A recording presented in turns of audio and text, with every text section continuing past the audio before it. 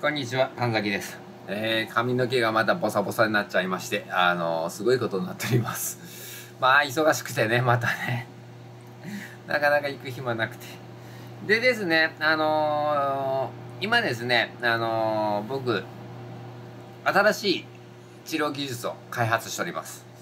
で、まあ、この詳細はね、喋れないんだけども、あの今度ねあの材料を持ってあの熊本県なんだっけ産業市産業技術センターだったかな。っていうとこにちょっと相談行ってきます。あの材料のねあの検査をしていただけるっていうことだったんであのそこ行ってあの実際にどれぐらいの力がねあの大丈夫かとかねそういった検査をやってきます。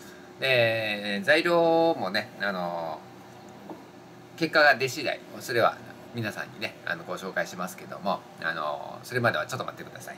で実際にね私あのいくつか開発はしてますんでね。あの頑張ってます。はい。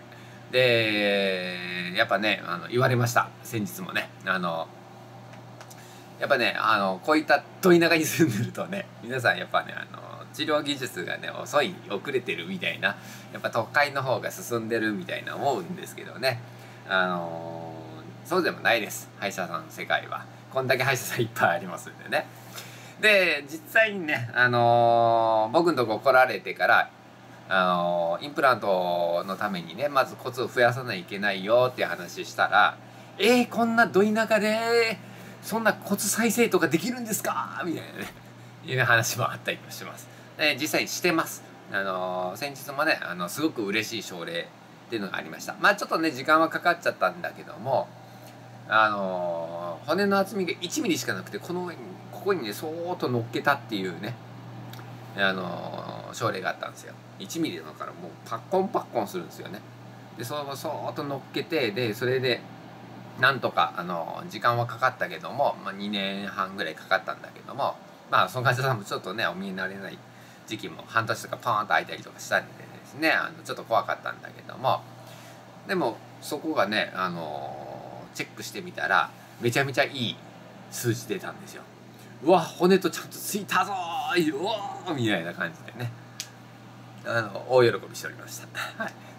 でまあまあねそれもねあのー、やっぱ技術力ないとできないことだし今のね、あのー、10年前の材料だとなかなか難しくて3年前に出てた材料でもそこまでやっといけたかなと。で今だったらもうちょっと早くいけるんじゃないかなとかいうねあの材料的な問題やっぱどんどんどんどん進化してますんであのいいかなと思ってます。でやっぱね進化するのスピード速いんですよ。僕らね。でそれについていかないといけないししかもあの僕みたいにね新しい技術どんどんこう作っていかないといけないっていうのもあるからあの僕らも本当に僕も頑張ってますんでね。あの応援よろしくお願いします。